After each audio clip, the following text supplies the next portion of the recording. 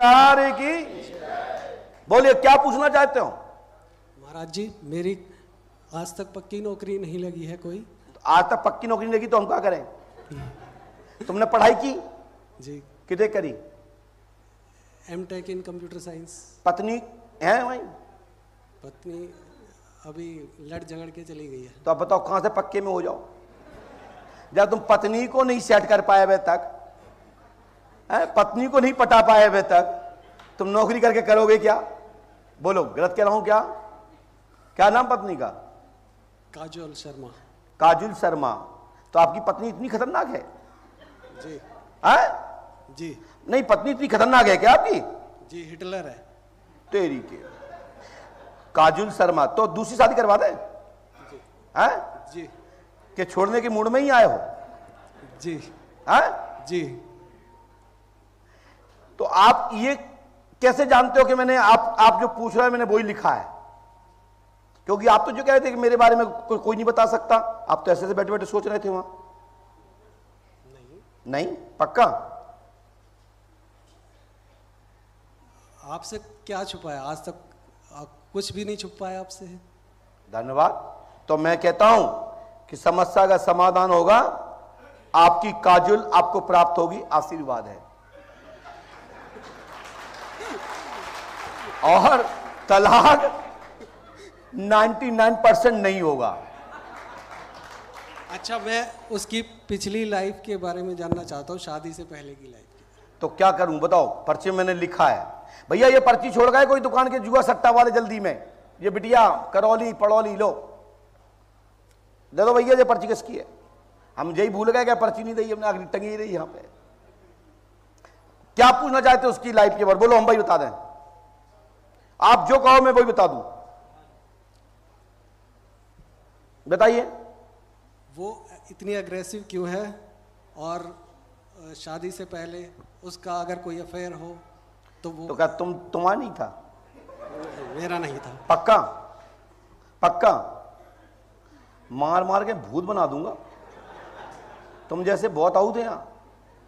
ज़रूरी है कि तुम सर्टिफिकेट दे दो तभी प्यार है।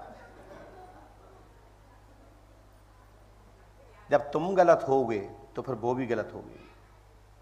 और तुम सही हो तो मैं गारंटी देता हूँ कि तुम्हारी ज़िंदगी में भी गलत नहीं आएगा कभी, कोई भी नहीं आ सकता और किसी के में नहीं आएगा। जो जैसा होता है, उसको उसा ही मिलता है। ये नोट करें मैं कह रहा हूँ ये बात। यदि आप गलत हैं तो आपके साथ में भी गलत होगा। और जिस दिन आप किसी पे गलत कर रहे हैं तो आपके घर पे भी गलत करने वाला पैदा हो गया है। यही मत सोचो कि मैं ही दिमागदार हूँ मैं ही तेज हूँ मैं ही किसी को लूट लूँगा तो तुम्हारे घर पे भी लूटने वाला भी कोई दूसरा पैदा हो चुका है। तो क्या चाहते हो? मैं एक तरफा बोल दूँ कि वो करेक्टरलेस है? नहीं। तो क्या चाहते हो हमसे? पैसा दिया तो हम जो बोल तो आप अक्सर बोल दूँ मैं? मेरी ज़िंदगी में इतनी तबाही क्यों हो रही है? तबाही इसलिए हो गई कि तुमने बात सेट ही नहीं करो। सेटिंग मोड पे लगाते फ़ंक्शन सेटिंग लोड पे ले आते तो आपकी पत्नी आपके पक्ष में रहती, आप बिगड़ सेटिंग के चलाते रहते हो, चली गई। नहीं, गलत कह रहा हूँ, बताइए। हम लोग भी कोई भी चीज़ खरीदते हैं, उसको थोड़ा गलत समझ रहे होंगे आप लोग मेरी भाषा को। सेटिंग करना चाहिए सेटिंग मोड पे जाना चाहिए। सेटिंग का जमाना है, विज्ञान भी कहता है कि किसी भी यंत्र को चलाओ तो सेटिंग पहले करो।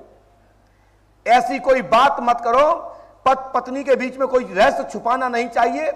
पारदर्शी रख दीजिए, ज़िंदगी में रिश्ता नहीं टूटेगा, मैं गारंटी देता हूँ। यदि आप पत्नी से छुपाओगे, पति पत्नी छुपाएँगे, तलाक 99 परसेंट होगा। इसलिए शादी की है, पूर्व में तुम क्या थे, वो क्या थे, वो संकल्प लेके बंद कर दो, क्योंकि उसके पहले नहीं जानते थे कि तुम मिलोगे।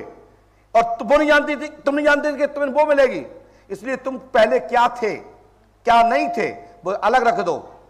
शादी के बाद गलत नहीं होना चाहिए। मैं गारंटी देता हूँ ज़िंदगी में सफलता मिल जाएगी। अच्छा शादी के बाद का बता दीजिए नहीं शादी के बाद आप गलत नहीं हो। ये बपक की बात है। शादी के बाद तब गलत नहीं हो।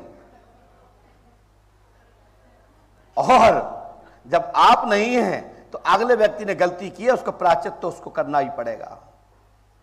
जो तुम चाहते हो कि मैं जो बता दूँ कि पहले क्या था वर्तमान में क्या है तो ये लाइव जा रहा है और इस समय दिशा न्यूज़ पर चल रहा है दिशा चैनल पर। तो इसलिए मैं टिकट टिप्पणी नहीं कर सकता हूँ। यदि यही जानना है तो पत्नी को ले आओ, फिर मैं दोनों को बता दूँगा।